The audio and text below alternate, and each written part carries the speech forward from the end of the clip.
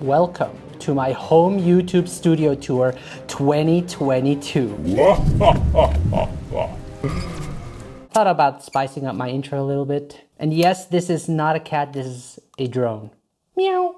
So welcome to my home YouTube Studio Tour 2022. I thought it would be a great idea to show you guys around so that you can see what I use to create my YouTube videos. I enjoy working from home and it's important for me to have a workspace where I feel comfortable. When I wake up in the morning, I want to feel excited and inspired to work on my next video project and having a nice studio setup really helps. Now, as some of you might know, the home studio is in my living room it's a small setup, nothing crazy. Unfortunately, I don't have a separate room to use as an office. I basically have this corner right here available that I use to record all of my YouTube videos. And compared to my last setup that I showed you a while ago, I pretty much downsized everything and I'm quite happy with it as I don't really need much. I'm still selling some of my stuff, that I don't need as I want to keep it as minimal as possible. Now everybody has their own unique setup uh, and hopefully with this video, you can get some ideas for yourself that you could use for your small home studio setup. And if you're interested in the products that I've mentioned, I will leave a link in the video description below.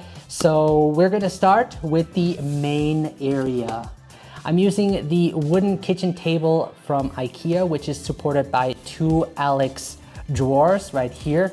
The computer I'm using is the iMac Pro from 2019. For those interested, here are the specs.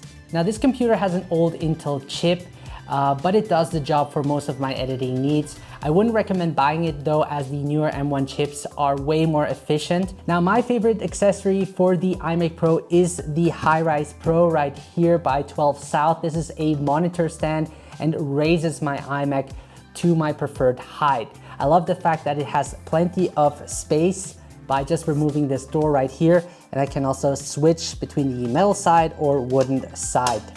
Now the mouse I'm using is the MX Master 2. I had this for quite a long time and still does the job. I also configured it so that I can edit faster, uh, which I recommend you do if you edit a lot. Now I actually have two external hard drives which are hidden behind the curtain uh, an 8 terabyte G-Tech drive and a 24 terabyte G-Tech drive. Uh, current projects are edited on my 8 terabyte drive and finished projects are then stored on my 24 terabyte drive which I can also edit from if I need to. Now over here you can see my charging station for my Apple devices such as my iPhone, Apple Watch, and AirPods Pro.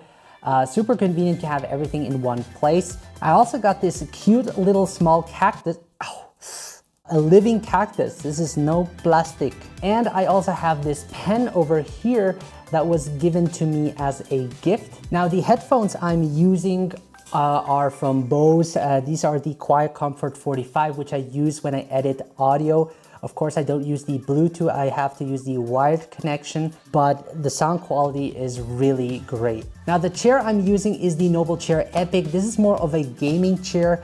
Uh, it does look nice and it can just like lean back and chill, but I would go for a more ergonomic chair as it can get uncomfortable over time, especially when editing. Wasn't a good decision really, but it looks nice. Now moving over to my shelf, this one and all the other ones that you're seeing uh, later are all from IKEA. They are from the same designer called Fejebø probably didn't say that right. I really like the dark wood. It has an aesthetic look to it and it fits well with the white wall too. Now they are expensive though and I got these from a friend of mine but you can get used ones certainly for cheaper. Now let's move to this framing up here. I don't have anybody to help me film today, so okay, okay. Oh, so this nice handmade framing over here that I stole from the Apple Museum, just joking.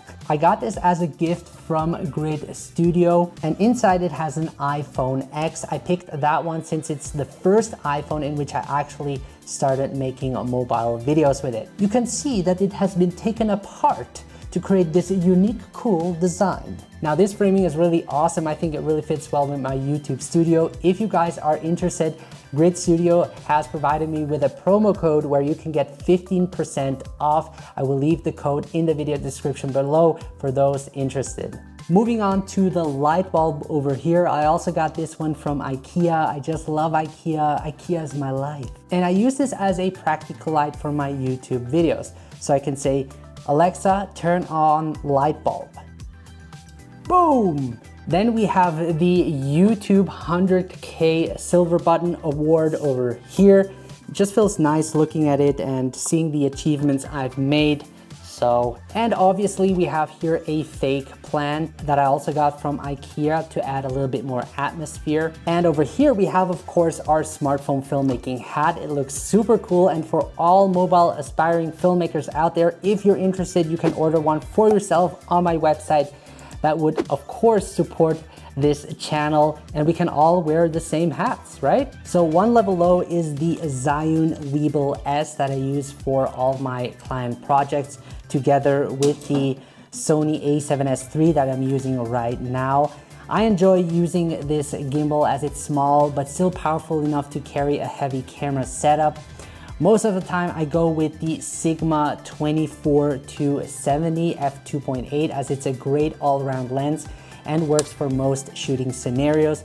I also have a 55 millimeter lens that I never use and a ultra wide angle lens, the 60 to 30, the 16 to 35 millimeter f4, which I'm using right now. I also have a drone that you've seen at the beginning of my video. I don't fly with it that often, but here and then for travel videos, it can offer a unique perspective. I would probably go for a more smaller drone the next time, such as the DJI Mini 3 Pro that was just released because it's just smaller and easier to carry around. And then we have the Gorilla Pod, which I use with the iPhone to wrap around things and get unique POV perspectives. Uh, it's also great as a vlogging setup because you can bend it and uh, really mount it almost everywhere. So this is the laptop table. I bought this myself. Uh, again, I got this from Ikea. And the reason why I picked this up is because it has wheels on the bottom and allows me to change the position to create a second setup and I use it especially for uh, reviews or editing tutorials. The microphone I'm using is the NTG4 Plus with the Zoom H5 over here and having these two combined, the audio quality is just fantastic. Now, when I'm recording outside or need to move around a lot, I like to use the Rode Wireless Go that I'm using right now. This is the best investment I've ever made. It's just super easy to use and is a plug and play microphone really. Now, like I mentioned before, I use the MacBook Pro M1 Max for editing on the go. This is a beast of a laptop and will last for a long time. And over here I have my trusted DJI OM4 great gimbal that I use almost for every mobile shoot I have. If you guys don't have a gimbal and are starting out, this is the gimbal I would recommend. So below the laptop table, I have the Love Pro camera backpack. It's inexpensive, looks great, and fits all the gear that I generally bring with me when I use larger cameras. And when it comes to lighting, I used to use the Aputure 120D as my key light, but Aputure has sent me the 300D over here, which I'm using right now. It's just a way more powerful light source. I just wanted to give a shout out to Aputure for sending me the 300D. You guys are awesome. Thank you so much again. So let me show you the lighting setup that I have going on over here. The diffuser I'm using is the Light Dome Mark II by Aputure. And the stand I'm using that are holding the lights are by Manfrotto. A great light to have, but you don't need it to get started making videos. Remember that. Natural sunlight works great too. So we're almost there.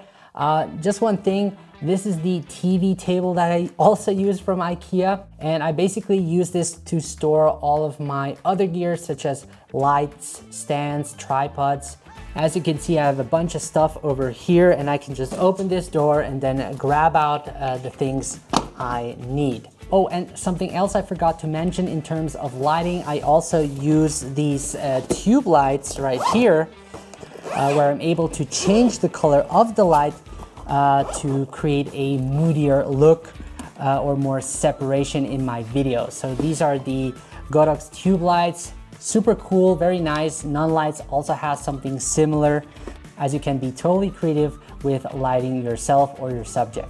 So yeah guys, that was a quick tour of my small YouTube studio setup. I hope you guys enjoyed it and maybe you got some ideas for yourself that you can use for your YouTube studio setup.